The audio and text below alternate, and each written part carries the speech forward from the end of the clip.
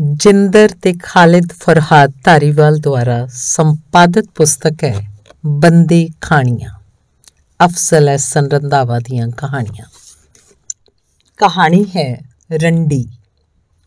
ਸੁਲੱਖਣ ਸਿੰਘ ਨੇ ਵਾਗਾਂ ਪੱਟ ਦੇ ਥੱਲੇ ਨੱਪ ਕੇ ਪੱਗ ਤੇ ਪਟਕਾ ਬੰਨਿਆ। ਘੋੜੇ ਨੂੰ ਮੋੜ ਕੇ ਮੈਨੂੰ ਅੱਖ ਮਾਰੀ। ਮੈਂ ਉਹਨੂੰ ਇਸ਼ਾਰਾ ਕੀਤਾ। ਉਹਨੇ ਘੋੜੇ ਨੂੰ ਅੱਡੀ ਲਾ ਦਿੱਤੀ। ਸੁਲੱਖਣ ਸਿੰਘ ਦਾ ਘੋੜਾ ਦਾਇਰੇ ਵਾਲੇ ਬੋਰਡ ਤੋਂ ਲੈ ਕੇ ਦੂਰ ਪਿੰਡ ਦੇ ਬਾਹਰ ਤੱਕ ਧੂੜ ਦੇ ਬੱਦਲ ਬਣਾ ਕੇ ਗਾਹ ਨਿਕਲ ਗਿਆ। ਮੈਂ ਦਿਲ ਹੀ ਦਿਲ 'ਚ ਦੁਆਵਾਂ ਪਿਆ ਕਰਦਾ ਸਾਂ ਕਿ ਭਾਬੀ ਦੀ ਨਜ਼ਰ ਨਾ ਪੈ ਜਾਏ। ਭਾਉ ਦਾ ਡਰ ਨਹੀਂ ਸੀ, ਉਹ ਸ਼ਹਿਰ ਗਿਆ ਹੋਇਆ ਸੀ। ਅੱਜ ਉਹਦੇ ਆਉਣ ਦੀ ਉਮੀਦ ਨਹੀਂ ਸੀ, ਪਰ ਭਾਬੀ ਨੇ ਲਿਹਾਜ਼ ਕਰਨਾ ਸਿੱਖਿਆ ਹੀ ਨਹੀਂ ਸੀ। ਜੇ ਸ਼ਾਮ ਦੇ ਇਸ ਵੇਲੇ ਭਾਬੀ ਮੈਨੂੰ ਤੇ ਸੁਲੱਖਣ ਨੂੰ ਇਕੱਠਿਆਂ ਪਿੰਡੋਂ ਨਿਕਲਦਿਆਂ ਵੇਖ ਲੈਂਦੀ, ਤਾਂ ਮੇਰੀ ਸ਼ਾਮਤ ਆ ਜਾਂਦੀ। ਨਾਲੇ ਸੁਲੱਖਣ ਸਿੰਘ ਦੀਆਂ ਸੱਤ ਪੀੜ੍ਹੀਆਂ ਪੁਣੀਆਂ ਜਾਂਦੀਆਂ। ਗੱਲ ਕੋਈ ਹੋਵੇ ਜਾਂ ਨਾ, ਭਾਬੀ ਭਾਉ ਨੂੰ ਇੱਕ ਇੱਕ ਦੀਆਂ ਸੱਤ ਸੱਤ ਕਰਕੇ ਐਦਾਂ ਕਿੱਸਾ ਬਣਾ ਕੇ ਸੁਣਾਉਂਦੀ ਹੁੰਦੀ ਸੀ ਕਿ ਉਹ ਖੂੰਡਾ ਫੜ ਕੇ ਮੈਨੂੰ ਲੱਭਣ ਟੁਰ ਪੈਂਦਾ। ਸੁਲੱਖਣ ਸਿੰਘ ਦਾ ਤਾਂ ਨਾਂ ਸੁਣਦੇ ਭਾਬੀ ਦੇ ਮੱਥੇ ਤੇ ਵੱਟ ਪੈ ਜਾਂਦੇ ਹੁੰਦੇ ਸਨ। ਉਹ ਆਪਣਾ ਕੰਮ ਭੁੱਲ ਕੇ ਉਹਨੂੰ ਗਾਲਾਂ ਕੱਢਣ ਲੱਗ ਪੈਂਦੀ। ਜੇ ਮੈਂ ਕਦੀ ਭਾਬੀ ਨੂੰ ਮੋੜਦਾ ਤਾਂ ਉਹ ਲਾਲ ਅੱਖਾਂ ਕੱਢ ਕੇ ਆਂਦੀ ਸੁਲੱਖਣ ਸਿੰਘ ਨੂੰ ਤਾਂ ਕਿਸੇ ਕਾਂ ਕੁੱਤੇ ਦੀ ਮੌਤ ਆ ਜਾਏ ਤੇ ਲੋਕਾਂ ਦੀ ਜਾਨ ਛੱਡੇ।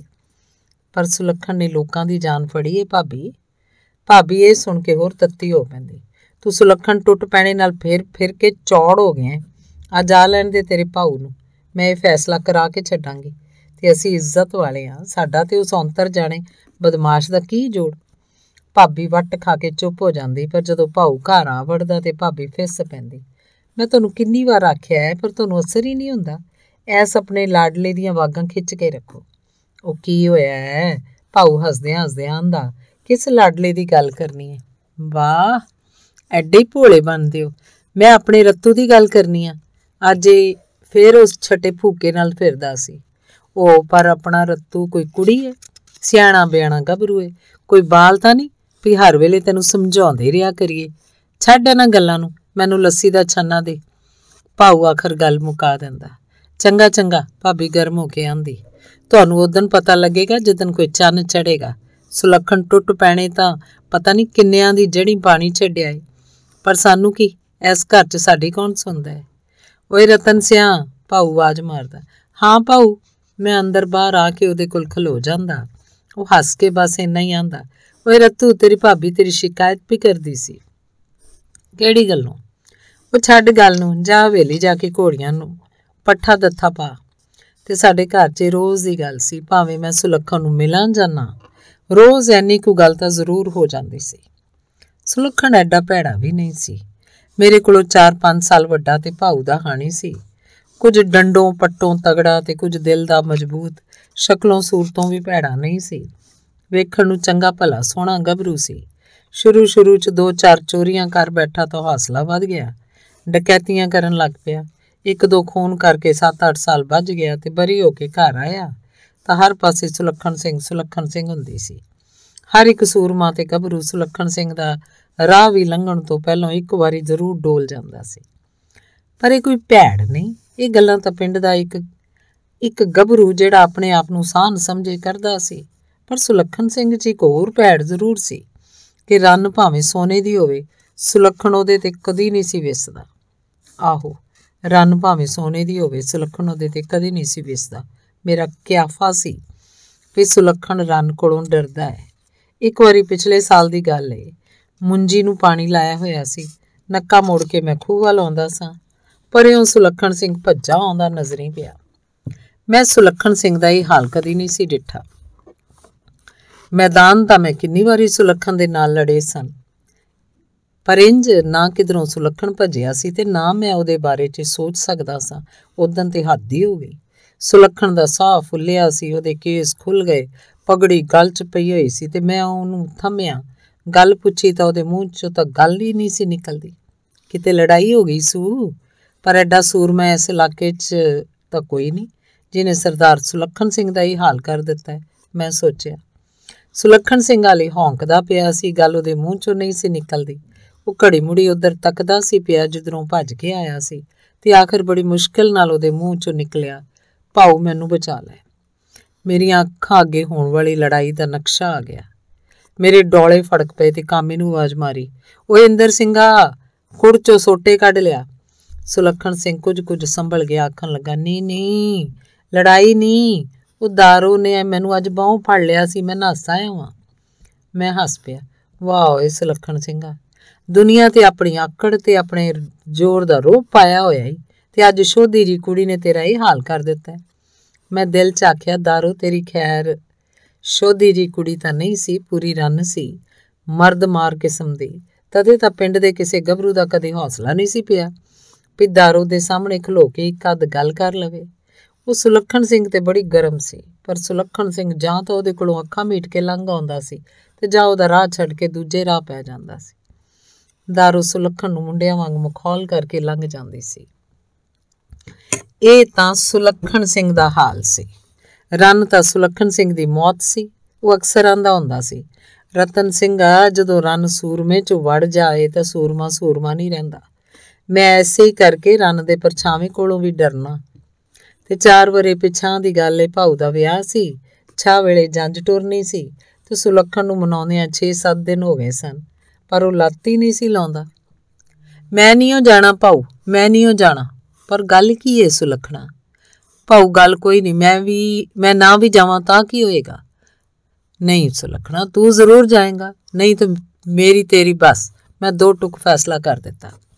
ਤੂੰ ਮੇਰੀਆਂ ਬੇੜੀਆਂ 'ਚ ਵੱਟੇ ਪਾ ਕੇ ਰਾਜੀ ਹੈ ਤੇ ਚੱਲ। ਪਰ ਰਾਤ ਮੈਂ ਜੰਜ ਨਾਲ ਨਹੀਂ ਆਪਣੇ ਮਾਮੇ ਦੇ ਘਰ ਰਾਂਗਾ ਤੇ ਤੂੰ ਵੀ। ਅੱਛਾ, ਮੈਂ ਆਖਿਆ, ਪੰਡੋਰੂ ਪੰਡੋਰੀ ਸੁਲੱਖਣ ਸਿੰਘ ਦੇ ਨਾਨਕੇ ਸਨ ਤੇ ਮੈਂ ਪੁੱਛਿਆ, ਕੁਛ ਉੱਥੇ ਸ਼ਰੀਕੇ ਬਰਾਦਰੀ ਦਾ ਝਗੜਾ ਹੈ? ਨਹੀਂ, ਉਹ ਆਖਣ ਲੱਗਾ। ਜੰਜ ਟੁਰੀ, ਸੁਲੱਖਣ ਸਿੰਘ ਜੰਜ ਤੋਂ ਲਾਂਬੇ ਘੋੜੇ ਨੂੰ ਲਗਾਮ ਲਈ ਜਾਂਦਾ ਸੀ।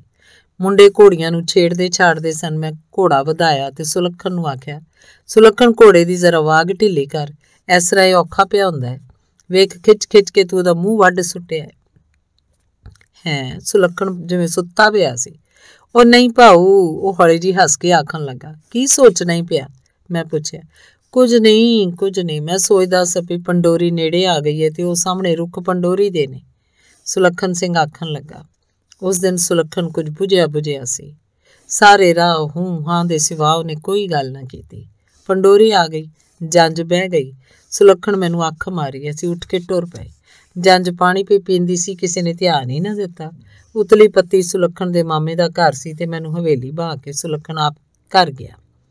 ਜਾਂਦਾ ਜਾਂਦਾ ਪਰਤ ਆਇਆ ਨਾਲ ਉਹਦੇ ਮਾਮੇ ਦਾ ਪੁੱਤਰ ਤਾਰਾ ਸਿੰਘ ਸੀ।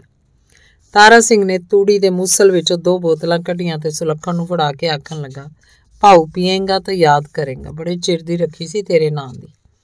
ਰਤਨ ਸਿੰਘਾ, ਆ ਭਾਉ, ਕੁਝ ਨਸ਼ਾ ਪਾਣੀ ਕਰ ਲੈ। ਫਿਰ ਰਾਤ ਢਲੇ ਤੱਕ ਮੈਂ ਤੇ ਸੁਲੱਖਣ ਪੀਂਦੇ ਰਹੇ। ਪਰ ਸੁਲੱਖਣ ਮੂੰਹੋਂ ਕੁਝ ਨਾ ਬੋਲਿਆ, ਜਿਵੇਂ ਉਹਦੇ ਮੂੰਹ ਨੂੰ ਜਿੰਦਾ ਵੱਜਿਆ ਹੋਇਆ ਸੀ। ਮੈਂ ਤਾਂ ਬਸ ਕਰਕੇ ਰੋਟੀ ਖਾਣ ਲੱਗ ਪਿਆ ਤੇ ਸੁਲੱਖਣ ਹਾਲੀ ਪੀਣ ਰਿਹਾ ਸੀ। ਉਹ ਪੀਂਦਾ ਰਿਹਾ ਉਦੋਂ ਤਾਂ ਸੱਚੀ ਮੁੱਚੀ ਉਹਨੇ ਪੀਣ ਵਾਲੀ ਹੱਦ ਕਰ ਛੱਡੀ। ਸਵੇਰੇ ਸੌਂ ਕੇ ਉੱਠੇ ਤਾਂ ਸੁਲੱਖਣ ਦੀ ਮੰਜੀ ਤੇ ਤਾਰਾ ਸਿੰਘ ਬੈਠਾ ਸੀ। ਆਖਣ ਲੱਗਾ, ਭਾਈਆ ਜੀ, ਸੁਲੱਖਣ ਕੁਝ ਵੱਲ ਨਹੀਂ ਸੀ, ਪਿੰਡ ਚਲਾ ਗਿਆ ਮੈਂ ਹੈਰਾਨ ਰਹਿ ਗਿਆ ਵੀ ਸੁਲੱਖਣ ਰਾਤੋਂ ਰਾਤ ਪਿੰਡ ਕਿਉਂ ਚਲਾ ਗਿਆ? ਜੰਜ ਪਿੰਡ ਮੁੜੀ ਮੈਂ ਸਭ ਤੋਂ ਪਹਿਲੇ ਸੁਲੱਖਣ ਦੇ ਘਰ ਗਿਆ, ਪਰ ਉਹ ਘਰ ਨਹੀਂ ਸੀ। ਪੂਰੇ 7 ਦਿਨ ਘਰ ਨਹੀਂ ਵੜਿਆ। ਬੰਤੋ ਵਿਚਾਰੀ ਦੇ ਪੈਰ ਫੇਰੇ ਮਾਰ ਮਾਰ ਕੇ ਕੱਸ ਗਏ। ਓੜਕ ਨੂੰ ਵੱਡਾ ਭਰਾ ਭਰਾ ਕੀ ਪਿਓ? ਮਾਂ, ਭੈਣ ਤੇ ਸਭ ਕੁਝ ਬੰਤੋ ਦਾ ਸੁਲੱਖਣ ਹੀ ਤਾਂ ਸੀ। ਤੇ ਜਾਂ ਫਿਰ ਇੱਕ ਦੂਰ ਦੀ ਮਾਸੀ, ਜਿਹੜੀ ਜਵਾਨ ਬੰਤੋ ਦੇ ਨਾਲ ਘਰ ਰਹਿੰਦੀ ਹੁੰਦੀ ਸੀ।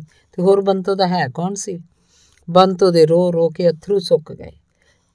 ਮੇਰੀ ਫਿਰ ਫਿਰ ਕੇ ਜੁੱਤੀ ਘਸ ਗਈ, ਪਰ ਸੁਲੱਖਣ ਦਾ ਪਤਾ ਨਾ ਲੱਗਾ। ਉਦੋਂ ਰਾਤ ਮੈਂ ਬੰਤੋ ਨੂੰ ਤਸੱਲੀ ਦੇ ਕੇ ਉੱਠਿਆ ਤੇ ਸੁਲੱਖਣ ਦੀ ਹਵੇਲੀ ਆ ਕੇ ਉਹਦੇ ਡੰਗਰਾਂ ਨੂੰ ਪੱਠਾ ਦੱਥਾ ਪਾਇਆ। ਸੌਣ ਲਈ ਮੰਜੀ ਡਾਈ ਤਾਂ ਬੰਤੋ ਦੁੱਧ ਲੈ ਕੇ ਆ ਗਈ। ਭਾਉ ਦੇ ਘੋੜੇ ਬਾਜੋਂ ਹਵੇਲੀ ਦੀ ਰੌਣਕ ਅੱਧੀ ਵੀ ਨਹੀਂ ਰਹਿ ਗਈ। ਕੋਈ ਗੱਲ ਨਹੀਂ ਬੰਤੋ ਤੇਰਾ ਭਾਉ ਵੀ ਤੇ ਉਹਦਾ ਘੋੜਾ ਵੀ ਆ ਜਾਏਗਾ। ਜੀ ਥੋੜਾ ਨਾ ਕਰ। ਮੈਂ ਬੰਤੋ ਦੇ ਸਿਰ ਤੇ ਪਿਆਰ ਦੇ ਕੇ ਆਖਿਆ, ਪਰ ਭਾਈਆ ਜੀ, ਪੰਡੋਰੀ ਕੋਈ ਗੱਲ ਤਾਂ ਨਹੀਂ ਸੀ ਹੋਈ ਉਦਣ ਕਿਹੋ ਜੀ ਗੱਲ? ਕੋਈ ਅੱਗੋਂ ਬੰਤੋ ਖੋਰੇ ਕਿਉਂ ਰੁਕ ਗਈ? ਕੁਝ ਨਾ ਬੋਲੀ। ਭਾਬੀ ਪਸੰਦ ਆਈ ਜੇ? ਬੰਤੋ ਨੇ ਗੱਲ ਪਰਤਾਈ। ਐਵੇਂ ਬਾਂਦਰੀ ਜਈ ਐ, ਮੈਂ ਬੰਤੋ ਨੂੰ ਛੇੜਿਆ। ਹਾ, ਹਾਏ, ਐਡੀ ਸੋਹਣੀ ਜੇ ਮੇਰੀ ਭਾਬੀ। ਮੇਰੀ ਭਾਬੀ ਹੁੰਦੀ ਤਾਂ ਮੇਰੇ ਪੈਰਾਂ, ਪੈਰ ਹੀ ਭੋਏ ਤੇ ਨਾ ਲੱਗਦੇ। ਮੇਰੀ ਭਾਬੀ ਤਾਂ ਅਸੀਂ ਐਦੋਂ ਸੋਹਣੀ ਲਿਆਵਾਂਗੇ ਸੁਲੱਖਣ ਸਿੰਘ ਨਾਲੋਂ ਵੀ ਬੰਕੀ। ਪਰ ਤੂੰ ਕਿਹੜੀ ਫੇਰ ਮਠਾਈ ਖਵਾ ਦੇਣੀ ਹੈ ਭਈ ਖਵਾਵਾਂਗੀ ਸੌਂ ਚੁੱਕ, ਧਰਮ ਨਾਲ। ਅੱਛਾ ਪਈ ਸੁਲੱਖਣ ਆ ਲਏ ਤਾਂ ਉਹਨੂੰ ਆਨਿਆ ਪਈ ਹੋਰ ਕੰਮ ਫੇਰ ਕਰੀ, ਪਹਿਲੋ ਸਾਡੀ ਬੰਤੋਲੀ ਭਾਬੀ ਲਿਆ। ਠੀਕ ਹੈ ਨਾ? ਆਹੋ। ਜਾ ਹੁਣ ਤੂੰ ਸੌਂ। ਸ਼ਾਬਾਸ਼, ਬੜੀ ਬੀਬੀ ਕੁੜੀ ਹੈ ਮੈਨੂੰ ਘਰੋਂ ਡਰ ਲੱਗਦਾ ਹੈ ਮਾਸੀ ਤੇ ਸ਼ਾਮਾਂ ਨੂੰ ਹੀ ਸੌਂ ਜਾਂਦੀ ਏ। ਭਾਉ ਬਾਜੋ ਮੇਰਾ ਜੀ ਨਹੀਂ ਲੱਗਦਾ। ਉਹ ਤਾਂ ਕਿੰਨੀ ਕਿੰਨੀ ਰਾਤ ਗਏ ਤਾਂ ਹੀ ਮੇਰੇ ਨਾਲ ਗੱਲਾਂ ਕਰਦਾ ਰਹਿੰਦਾ ਹੁੰਦਾ ਸੀ। ਹਾਏ, ਮੇਰਾ ਭਾਉ ਖੋਰੇ ਕਿੱਥੇ ਹੈ ਉਹਦਾ ਭਾਉ ਉਸ ਵੇਲੇ ਹਵੇਲੀ ਦਾ ਬੂਹਾ ਪੇ ਲੰਘਦਾ ਸੀ ਤੇ ਉਹਦਾ ਘੋੜਾ ਹਵੇਲੀ 'ਚ ਵੜਦਿਆਂ ਹੀ ਹਿਣਕ ਪਿਆ। ਬੰਤੋ ਦੌੜ ਕੇ ਘੋੜੇ ਦੇ ਗਲ ਨਾਲ ਚੰਬੜ ਗਈ ਤੇ ਮੈਂ ਵੀ ਉੱਠ ਕੇ ਸੁਲੱਖਣ ਨਾਲ ਸਾਬ ਸਲਾਮਤ ਕੀਤੀ, ਪਰ ਸੁਲੱਖਣ ਦੇ ਮੂੰਹ ਤੇ ਜੰਦਰਾ ਵੱਜਿਆ ਸੀ। ਚੰਨ ਦੀ ਨਿੰਮੀ ਜੀ ਲੋਚ ਉਹਦਾ ਚਿਹਰਾ ਵੇਖਿਆ, ਜਿਹੜਾ ਸਰੋਂ ਦੇ ਫੁੱਲ ਵਾਂਗੂ ਜ਼ਰਦ ਸੀ। ਉਹਦੇ ਬੁੱਲ ਇੱਕ ਦੂਜੇ ਨਾਲ ਜੁੜੇ ਹੋਏ ਸਨ। ਉਹਦੀ ਦਾੜੀ ਦੇ ਉਂਗਲ ਉਂਗਲ ਵਾਲ ਮਾੜੇ ਜੱਟਾਂ ਦੇ ਘਾਹ ਵਾਂਗੂ ਖਿਲ ਰਹੇ ਸਨ। ਉਹਦੀਆਂ ਤਾਂ ਨੂੰ ਉੱਠੀਆਂ ਕੁੰਡਲਾਂ ਵਾਲੀਆਂ ਮੁੱਛਾਂ ਠਾਂ ਨੂੰ ਝੁਕੀਆਂ ਸਨ। ਉਹਦੀਆਂ ਅੱਖਾਂ ਵਿੱਚ ਨਾ ਨੂਰ ਸੀ, ਨਾ ਰੋਸ਼ਨੀ। ਉਹ ਕਿੰਨਾ ਬਦਲ ਗਿਆ ਸੀ। ਉਹਨੇ ਹੱਥੋਂ ਛਵੀ ਦੂਰ ਖੁਰਲੀ 'ਚ ਸੁੱਟ ਦਿੱਤੀ। ਹੌਲੀ ਜੀ ਕਾਠੀ ਦੇ ਹੰਨੇ ਨੂੰ ਹੱਥ ਪਾ ਕੇ ਘੋੜੇ ਤੋਂ ਉਤਰਿਆ। ਲੜਖੜਾਉਂਦੇ ਕਦਮਾਂ ਨਾਲ ਲਾਗੇ ਵਾਲੀ ਮੰਜੀ ਤੇ ਬਹਿ ਗਿਆ। ਤਗੜਾ ਤਾਂ ਹੈ? ਨਹੀਂ ਪਾਉ ਉਹ ਹੌਲੀ ਜੀ ਹੌਕਾ ਭਰ ਕੇ ਬੋਲਿਆ, ਕਿੱਥੇ ਸੈਂ? ਸ਼ਹਿਰ। ਓਏ ਮੂਰਖਾ, ਕੁਝ ਘਰ ਦਾ ਖਿਆਲ ਕਰ ਦੋ। ਘਰ ਜਵਾਨ ਭੈਣ ਰੋ ਰੋ ਕੇ ਫਾਵੀ ਹੋ ਗਈ ਏ। ਓਏ ਤੂੰ ਸੁਣਿਆ ਹੀ ਕੱਲ ਦਿਨੋਂ? ਮੈਂ ਉਹਨੂੰ ਡਾਂਟਿਆ ਇਹੋ ਜਿਹੇ ਵੇਲੇ ਤਾਂ ਮੈਂ ਉਹਨੂੰ ਅਕਸਰ ਦਾਬਾ ਦੂਬਾ ਮਾਰ ਲੈਂਦਾ ਹੁੰਦਾ ਸੀ, ਭਾਵੇਂ ਉਹ ਉਮਰੋਂ ਮੈਥੋਂ 4-5 ਸਾਲ ਵੱਡਾ ਹੀ ਸੀ। ਘਰ ਤੂੰ ਜੋ ਹੈਗਾ ਸੈ ਬੰਤੇ ਕੋਲ, ਬੰਤੋ ਕੋਲ, ਮੇਰਾ ਉਹਨੇ ਅਚਾਰ ਪਾਉਣਾ ਸੀ। ਬੰਤੋ ਘੋੜਾ ਬਨ ਕੇ ਟੁਰੀ ਆਉਂਦੀ, ਸਹਿਮ ਕੇ ਉਹਨਾਂ ਹੀ ਪੈਰਾਂ ਤੇ ਖਲੋ ਗਈ, ਜਿਨ੍ਹਾਂ ਤੇ ਉਹਨੇ ਗੱਲ ਸੁਣੀ। ਸੁਲੱਖਣ ਬੋਲਿਆ, ਐ ਕੁੜੇ, ਮੇਰੀ ਰੋਟੀ ਇੱਥੇ ਹੀ ਦੇ ਜਾ। ਮੈਨੂੰ ਜਾਪਿਆ ਵੀ ਸੁਲੱਖਣ ਕੁ ਚਿੜਚਿੜਾ ਜਾ ਹੋਇਆ ਗਿਆ। ਮੈਂ ਚਲਾਂ ਫਿਰ, ਮੈਂ ਉੱਠਿਆ। ਅੱਛਾ ਸੁਲੱਕਣ ਨੇ ਰੁੱਖਾ ਜਿਹਾ ਜਵਾਬ ਦਿੱਤਾ। ਅਗਲੇ ਦਿਨ ਮੈਂ ਛਾ ਵੇਲਾ ਪਿਆ ਕਰਦਾ ਸਭ ਬੰਤੋ ਆ ਗਈ। ਸਲਾਮ ਆਨੀ ਆ, ਭਾਬੀ। ਬੰਤੋ ਪੀੜੀ ਲੈ ਕੇ ਚੌਂਕੇ 'ਚ ਸਾਡੇ ਕੋਲ ਬਹਿ ਗਈ। ਮੈਂ ਭਾਬੀ ਦੇ ਮੱਥੇ ਤੇ ਪਈਆਂ ਤਿਊੜੀਆਂ ਨੂੰ ਪਿਆ ਵਹਿੰਦਾ ਸਾਂ, ਜਿਹੜੀਆਂ ਬੰਤੋ ਨੂੰ ਵੇਖ ਕੇ ਪੈ ਗਈਆਂ ਸਨ। ਭਾਬੀ ਨੇ ਉਹਦੀ ਸਲਾਮ ਦਾ ਜਵਾਬ ਨਾ ਦਿੱਤਾ ਤੇ ਮੈਂ ਭੈੜਾ ਪੈ ਗਿਆ। ਬੰਤੋ ਦੇ ਸਿਰ ਤੇ ਪਿਆਰ ਦੇ ਕੇ ਆਖਿਆ, ਆ ਰੋਟੀ ਖਾ ਲੈ ਬੰਤੋ। ਨੀ ਭਾਈਆ ਜੀ ਨਹੀਂ ਭਾਈਆ ਜੀ ਵਾਹਿਗੁਰੂ ਬਹੁਤੀ ਦੇਵੇ, ਮੈਂ ਛਾ ਵੇਲਾ ਪਕਾ ਖਵਾ ਕੇ ਆਈਆਂ ਕਿੱਧਰ ਆਈ ਸੈਂ? ਤੁਹਾਨੂੰ ਸੱਦਣ। ਖੈਰ ਤਾਂ ਹੈ ਵੀ। ਭਾਉ ਨੇ ਸੱਦਿਆ ਹੈ ਖੈਰ ਮੇਰੀ ਏ। ਭਾਉ ਕੁਝ ਤਗੜਾ ਨਹੀਂ ਬੰਤੋ ਗੱਲਾਂ ਵੀ ਕਰਦੀ ਸੀ ਤੇ ਉਹਦੀਆਂ ਨਜ਼ਰਾਂ ਭਾਬੀ ਤੇ ਗੱਡੀਆਂ ਸਨ। ਭਾਬੀ ਦੇ ਹੱਥੋਂ ਪੇੜਾ ਛੁੱਟ ਕੇ ਡਿੱਗ ਪਿਆ, ਉਹ ਚਮਕੇ ਬੋਲੇ ਜਾ ਉਸ ਸੱਕੇ ਦੀ ਗੱਲ ਸੁਣ ਜਾ ਕੇ, ਇੱਥੇ ਕੀ ਦਫ਼ਤਰ ਖੋਲ ਕੇ ਬੈਠਾ ਹੋਇਆ ਮੈਂ ਤੇ ਬੰਤੋ ਉੱਠ ਕੇ ਆ ਗਏ। ਉਹ ਦਿਨ ਜਾਏ ਤੇ ਅੱਜ ਦਾ ਦਿਨ ਆਏ। ਭਾਬੀ ਸੁਲੱਖਣ ਤੇ ਬੰਤੋ ਨੂੰ ਬਦ ਜ਼ਬਾਨੀਓ ਨਹੀਂ ਮੁੜੀ। ਗੱਲ ਕਿਸੇ ਦੀ ਹੋਵੇ, ਕਸੂਰ ਕਿਸੇ ਦਾ ਹੋਵੇ, ਭਾਬੀ ਉਹਨਾਂ ਨੂੰ ਗਾਲਾਂ ਕੱਢਦੀ ਤੇ ਬਦ ਦੁਆਵਾਂ ਦਿੰਦੀ, ਕਦੀ ਨਾ ਥੱਕਦੀ। ਸੁਲੱਖਣ ਸਾਡੇ ਸ਼ਰੀਕੇ ਬਰਾਦਰੀ ਵਿੱਚੋਂ ਸੀ। ਬੰਤੋ ਤੇ ਸੁਲੱਖਣ ਸਾਡੇ ਵੱਲ ਦਿਨ 'ਚ ਇੱਕ ਅੱਧ ਫੇਰਾ ਜ਼ਰੂਰ ਮਾਰਦੇ ਹੁੰਦੇ ਸਨ। ਪਰ ਜਿਸ ਦਿਨ ਦੀ ਭਾਬੀ ਘਰ ਆਈ ਸੀ, ਸੁਲੱਖਣ ਨੂੰ ਤਾਂ ਸੌਂ ਜਿਓ ਸਾਡੀ ਦਹਲੀਜ਼ ਲੰਘਿਆ ਹੋਵੇ। ਬੰਤੋ ਵੀ ਦੂਜੀ ਵਾਰੀ ਕਦੀ ਨਹੀਂ ਆਈ। ਭਾਬੀ ਨੂੰ ਸੁਲੱਖਣ ਹੋਰਾਂ ਨਾਲ ਕੀ ਵੈਰ ਸੀ ਇਹ ਤਾਂ ਸਾਨੂੰ ਪਤਾ ਨਹੀਂ। ਪਰ ਭਾਬੀ ਤਾਂ ਉਹਨਾਂ ਦੀ ਹਵਾ ਦੀ ਵੀ ਦੁਸ਼ਮਣ ਸੀ। 4 ਸਾਲ ਇਦਾਂ ਹੀ ਲੰਘ ਗਏ। ਭਾਬੀ ਮੇਰੀਆਂ ਸ਼ਿਕਾਇਤਾਂ ਲਾਉਣ ਨੂੰ ਸਦਾ ਸ਼ੇਰ ਸੀ।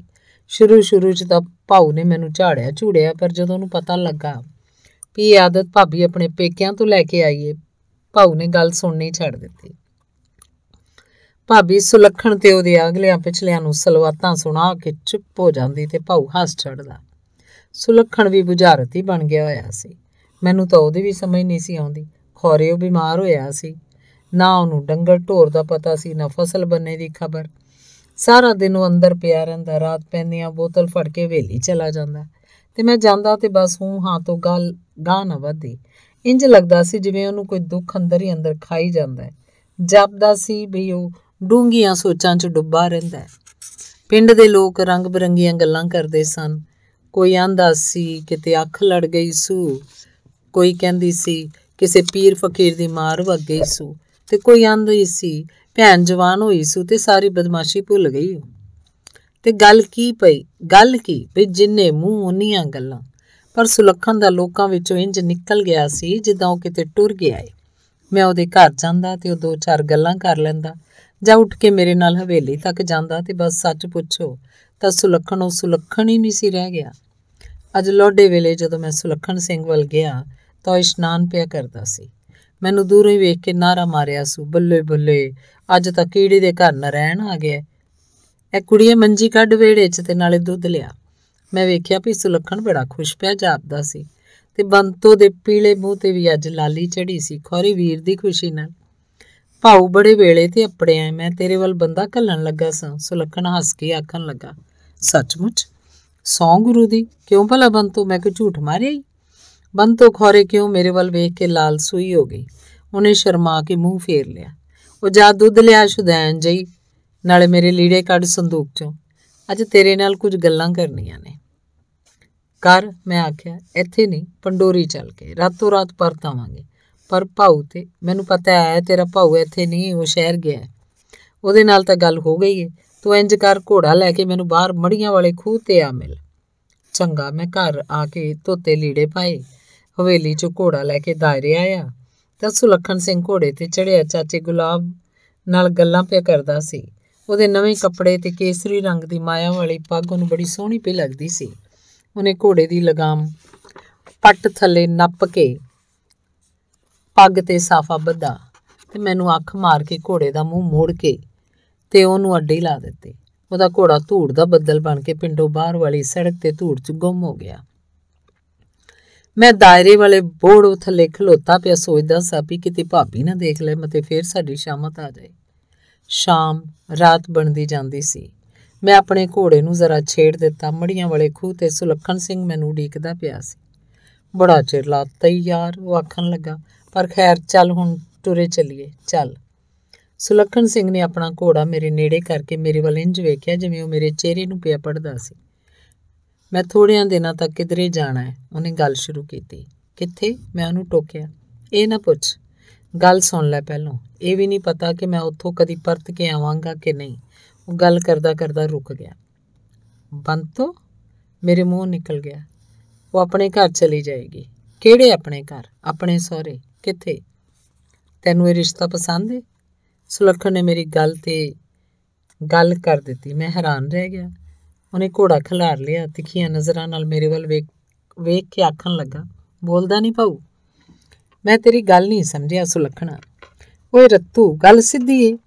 ਮੈਂ ਤੇਰੇ ਭਾਉ ਨਾਲ ਗੱਲ ਕਰ ਲਈਏ ਉਹਨੇ ਤਾਂ ਹਾਂ ਕਰ ਦਿੱਤੀ ਏ। ਤੇਰੇ ਨਾਲੋਂ ਚੰਗਾ ਮੁੰਡਾ ਲੱਭਣਾ ਵੀ ਮੁਸ਼ਕਿਲ ਏ। ਨਾਲੇ ਬੰਤੋ ਵੀ ਖੁਸ਼ ਰਹੇਗੀ ਤੈਨੂੰ ਪਤਾ ਹੈ ਬੰਤੋ ਮੇਰੀ ਭੈਣ ਹੀ ਨਹੀਂ ਮੇਰੀ ਧੀ ਵੀ ਏ। ਉਹਦੀ ਖੁਸ਼ੀ ਲਈ ਮੈਂ ਦੁਨੀਆ ਦਾ ਹਰ ਕੰਮ ਕਰ ਸਕਣਾ ਵਾਂ। ਤੇਰੀ ਕੀ ਮਰਜ਼ੀ ਏ। ਭਾਬੀ ਭਾਬੀ, ਸੁਲੱਖਣ ਜਿਵੇਂ ਗੁੰਮ ਹੋ ਗਿਆ। ਫਿਰ ਹੌਲੀ ਜੀ ਆਖਣ ਲੱਗਾ, ਉਹ ਵੀ ਮੰਨ ਜਾਏਗੀ। ਮੈਂ ਸੁਲੱਖਣ ਦੀ ਇਸ ਗੱਲ ਤੇ ਹੱਸ ਪਿਆ। ਸੁਲੱਖਣ ਨੇ ਖੋਰੇ ਮੇਰੇ ਦਿਲ ਦੀ ਗੱਲ ਬੁੱਝ ਲਈ।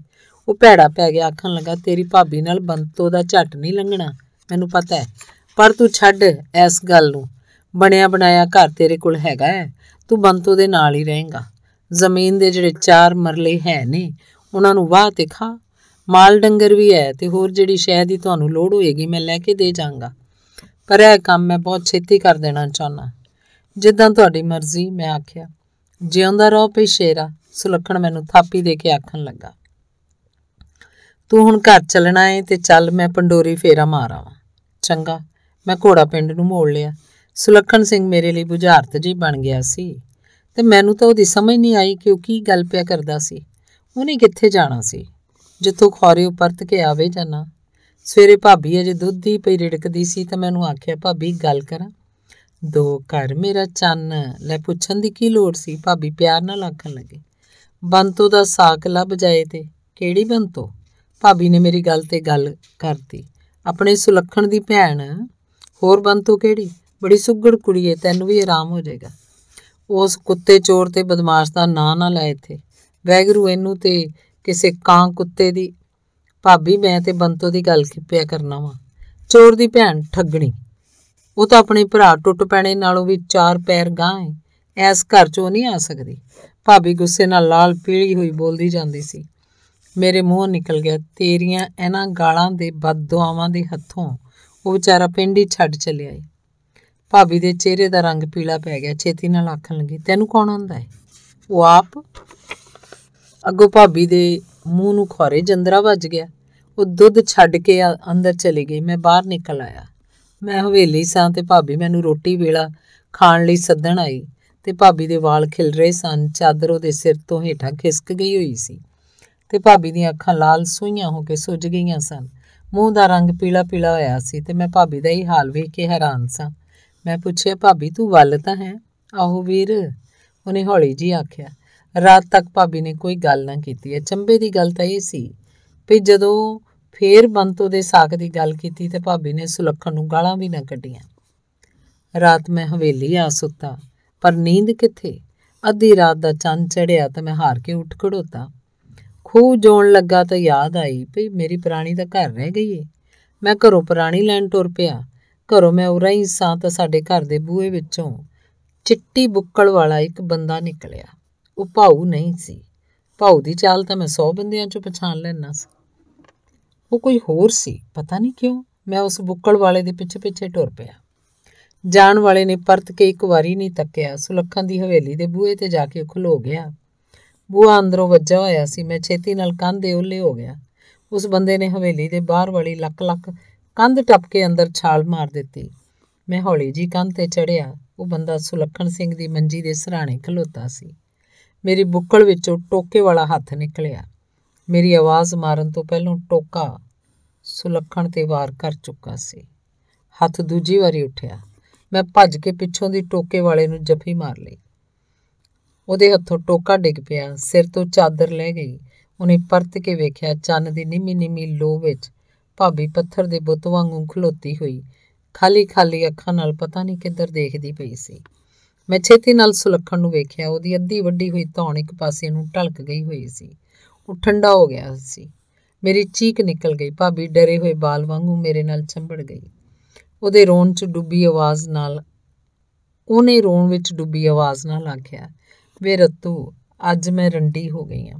ਵੇ ਲੋਕੋ ਮੈਂ ਲੁੱਟੀ ਗਈ ਜੇ। ਭਾਬੀ ਵੈਣ ਪਾਉਂਦੀ ਸੁਲੱਖਣ ਸਿੰਘ ਦੀ ਲਾਸ਼ ਨਾਲ ਚੰਬੜ ਗਈ। ਧੰਨਵਾਦ।